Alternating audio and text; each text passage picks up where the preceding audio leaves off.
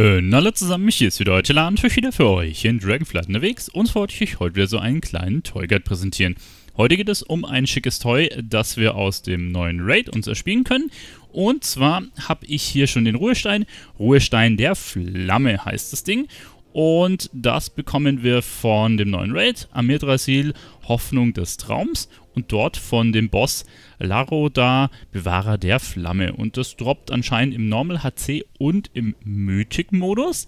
Ich war, ja, hatte ein bisschen Lack. Im ersten Run habe ich das tatsächlich gekriegt. Gear habe ich nicht sonderlich viel bekommen, aber zumindest den Ruhestein hier.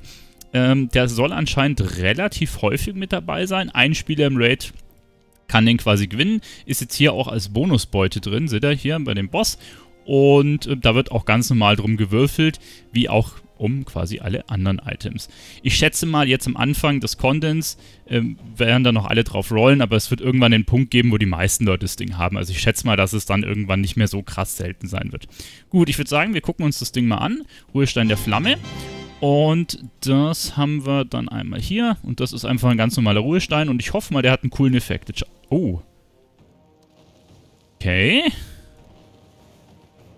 Doch mehr Effekt, als ich dachte, mit so Feuerfontänen.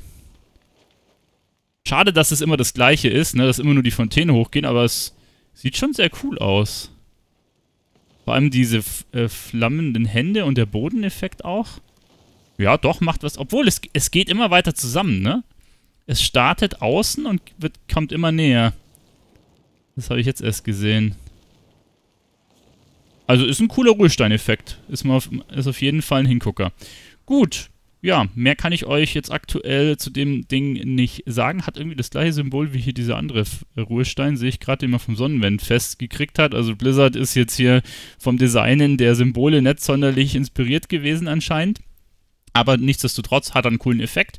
Und ja, zu der Drop-Chance, wie gesagt, kann ich euch jetzt leider noch nicht viel sagen. Auf WoW steht dazu noch nichts.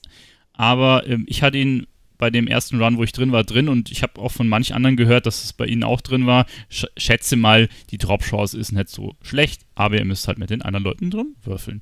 Juti, das war es eigentlich mit dem kleinen Toy Guide. Hat mich gefreut, dass ihr dabei wart. Euer Tila, bis zum nächsten Mal. Ciao.